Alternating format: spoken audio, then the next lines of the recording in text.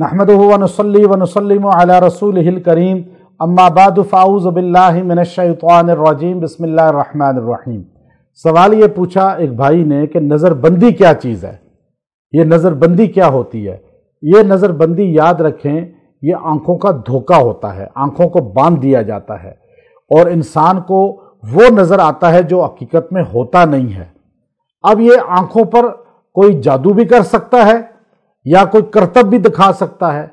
जैसे आजकल लोग करतब दिखाते हैं मिसाल के तौर पर कि किसी के मुँह से सुइयाँ निकल रही हैं, किसी की आँख से कोई चीज़ निकल रही है, या कोई बंदा वैसे दिखाता है जी कोई बंदा व्हील चेयर पर बैठा है और वो उठ के जो है ना उसको फूंक मारी तो वो उठ के चलना शुरू हो गया।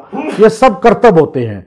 ये तो सबको पता है कि ये धोखा है और ये तो कैमरे का धोखा होता है। ये कैमरे का धोखा है। कैमरे का कमाल है। बंदा आँख से कोई चीज़ निकाल रहा है, ये रिहर्सल होती है प्रैक्टिस होती है, रियल में वो नहीं होता। असल क्या चीज़ है?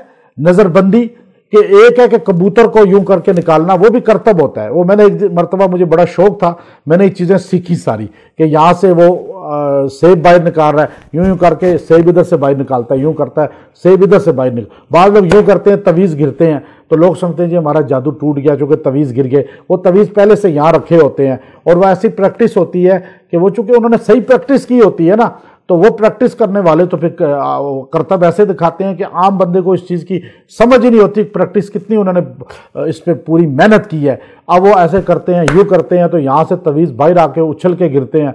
तो वो सारा एक तरीक, ट्रिक्स हैं ये। ये सारे ट्रिक्स हैं। ये नज़रबंदी नहीं है। इसको नज़रबंदी आप नहीं कह सकते। कबूतर निकाल रहा है एक बंदा, ये नज़रबंदी नहीं है। ये ट्रिक्स हैं। हमने ये सारी ट्रिक्स की। यहाँ अंगूठा, ये अंगूठा है ना। इस अंगूठे के ऊपर जो है ना, एक और कवर चढ़ता है। वो अंगूठे की तरह का होता है। आपको पता नहीं चलता कि ये अंगूठा है। अब उसके अंदर जो है, हज़ार का नोट होता है।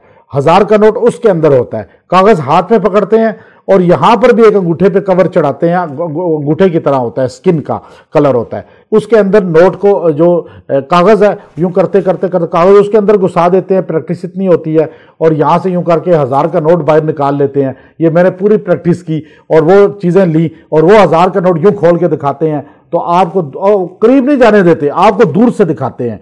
और दूर से क्योंकि यहाँ से निकाला होता है ना, ये सारे कवर मिलते हैं, ये सब चीज़ें। खैर, ये सारी, ये तो सारी प्रैक्टिस है कि आप मुँह से सुइयाँ निकालें, आँख से कोई चीज़ निकाल दें, आप जो है, ये सब काम, ये करतब है करतब नज़रबंदी क्या चीज़ है? वो कुरान ने कहा, सहरु आयुनन्नास वो आँखों का धोखा है, जो आँखों पर लोगों के किया जाता है, वो मैजिक होता है। वो हेपनाटाइज होता है। जैसे मूसा सलाम ने अपना असा फेंका, उन सत्तर हज़ार जादूगरों ने भी अपने रस्सियाँ फेंकी, उनकी रस्सियाँ सांप बन गईं। मूसा सलाम का डंडा भी सांप बन गया। लेकिन आपके डंडे में उन चालीस हज़ार जादूगर या सत्तर हज़ार थे, उनकी रस्सियों को जो सांप बनी थी, निगलना, खाना शुरू कर दिया। और जब वो खा रहा था तो सत्तर हज़ार जादूगर सजदे में चले गए और कहने लगे, आमन्ना बेरबी हारूना व मूसा। हम आपके रब पर ईमान ले आए। अब बात यह है कि जादूगरों को तो ना कलमे की दावत दी, ना उनको तोहीद बताई, ना अल्लाह का तारुफ कराया। मूसा इस्लाम ने सिर्फ़ इस चीज़ को देखकर वो कलमा क्यों पढ़ लिया कि उस पर इमामुल मुफसरीन मौलाना हुसैन अली व बछड़ा रहमत फरमाते हैं कि मूसा सलाम का जो असा था, डंडा था, जब वो सांप बना तो जादूगरों ने जो अपनी रस्सियाँ फेंकी थी, वो आँखों का धोखा था, वो मैजिक था। वो रियल में सांप नहीं थे, बल्कि सखरू आयुनन्नास वो लोगों की आँखों पे जादू था कि लोगों को वो रस्सियाँ सांप नज़र आ रही थी और जादूगरों को रस्सियाँ नज़र आ रही थी। अब जादू लोगों की आँखों पर था। लेकिन मूसा सलाम ने जो डंडा फेंका वो जादूगरों को भी सांप नज़र आ रहा था क्योंकि वो जादू नहीं था वो मोजा था। वो अल्लाह की तरफ़ से एक अता था।